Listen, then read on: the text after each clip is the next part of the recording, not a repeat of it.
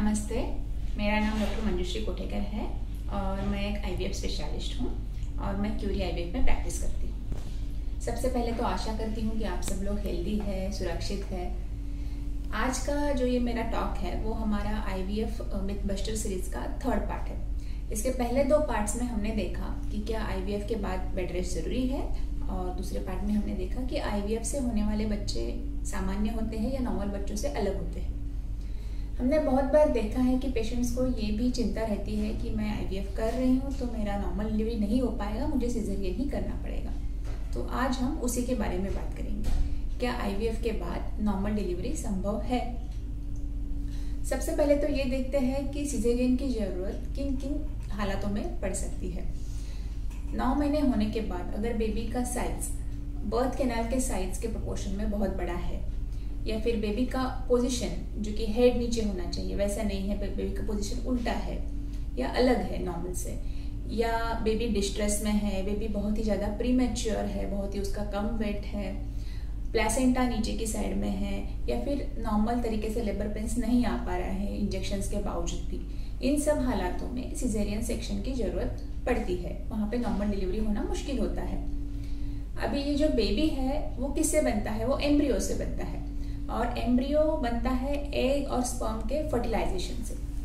Normally ये fertilisation body के अंदर होता है और नेचुरली प्रेगनेंसी रुकता है। आईवीएफ में हम ये फर्टिलाइजेशन लैब में करके देते हैं और उस तरह से प्रेगनेंसी रुकता है। दूसरे शब्दों में कहूँ तो रेसिपी बदल गई है, लेकिन प्रोडक्ट सेम है, क्योंकि जो हम बना रहे हैं, जिससे बना रहे हैं, वो रॉ मटेरियल हम सेम ही यूज़ कर रहे हैं। इसके लिए प्रोडक्ट सेम है। तो प्रेगनेंसी भले ही आईवीएफ से हो या नेचुरली रुकी हुई हो।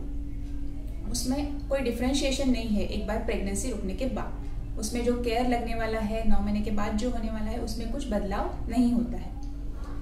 कभी कभी ऐसा होता है कि आईवीएफ के बाद दो या तीन मल्टीपल प्रेगनेंसी रुक सकते हैं ट्विंस या ट्रिपलेट्स और ऐसे कंडीशंस में नॉर्मल डिलीवरी का चांस थोड़ा कम हो जाता है नेचुरली लेकिन आज के ज़माने में हमारा एम यही रहता है कि हम आईवीएफ के बाद आपको एक सिंगल और हेल्दी प्रेगनेंसी दें।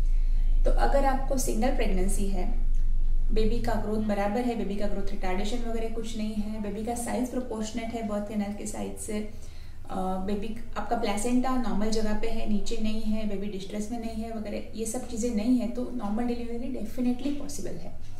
सिर्फ़ आईवीएफ किया है, इस चीज़ के लिए सिजेरियन करने की ज़रूरत नहीं होती है। तो आज के लिए इतना ही। अगर आपको इस बारे में कोई डाउट्स है तो आप मुझे इस नंबर पे कांटेक्ट करके पूछ सकते हैं। अगर आपको कंसल्टेशन के लिए आना है तो हमारे क्लिनिक्स घाटकोपर चेंबूर और ठाणे एरिया में भी है। तो मिलते हैं अभी हमारे मिथबस्टर सीरीज़ के नेक्स्ट पार्ट में। तब तक के लिए good bye and stay safe thank you